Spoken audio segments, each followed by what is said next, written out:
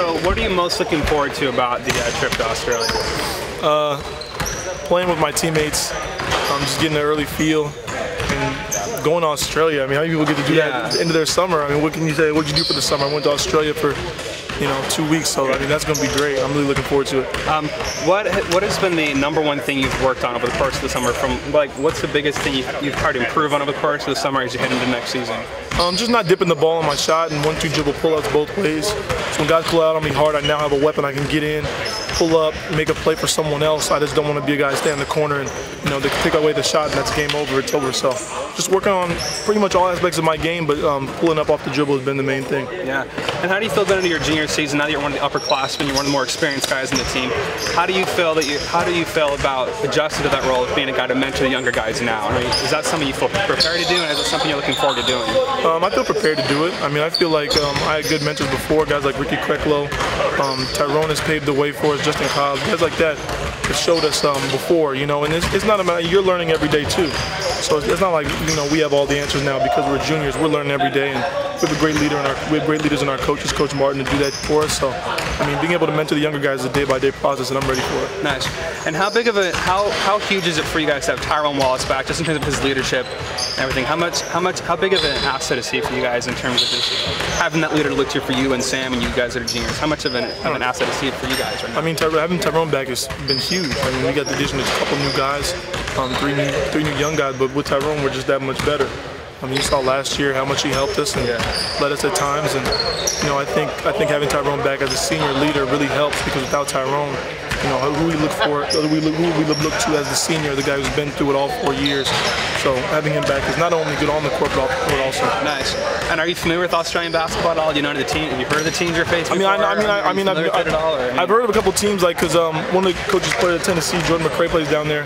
For, I think it's like the Perth Wildcats, but uh, they got some good players down there, and I'm just excited to go down there. I'm really excited, actually. Excellent. And do you have any idea in terms of the competition level of those guys, how it compares to Pac-12 basketball? Or I have no, I have no idea. To be honest, I've, not, I've, just got the itinerary yesterday. I'm just looking forward to getting on that plane and you're going gonna find out out there. then. Yeah, I'll find right. out. Well, thank you. No problem. Good job. So having had the chance to uh, to practice with Cam getting back on the court, um, with the new freshmen coming in and they're going to be in the mix with playing time, how do you see the team changing this year? I think we're going to be deeper, obviously, because we have more guys. Um, I think we'll be really explosive, be able to get in transition. Um, you know, only time will tell, though. I mean, I, I can say all this now, but at the end of the day, it is August, and uh, you know, we're going to do whatever coach wants us to do. Wants us to you know, do whatever he wants us to do. Um, guys are just going to blend, fill their roles, and everybody's going to do what they need to do for us to win. With more scorers on the court that have more creative ability to, to score, you feel like it's going to open things up for you a little bit more on the perimeter this year? I mean, yeah, I mean, you- we got scores. We're also a bunch of unselfish guys, so it's not like anybody's going to try to go one on five consistently. So, I mean, having having more scores is going to help everybody um, because you know you can't really you know help defense. You got to get off one guy. So we're all looking to help each other out in the end. On paper, it looks like you guys are poised to have a real special season. Do you, you have a sense that that might happen? You know, I feel like if you work hard to come to work every day with your hard hat on, um, just listen to coach and stay, keep your head to the grind.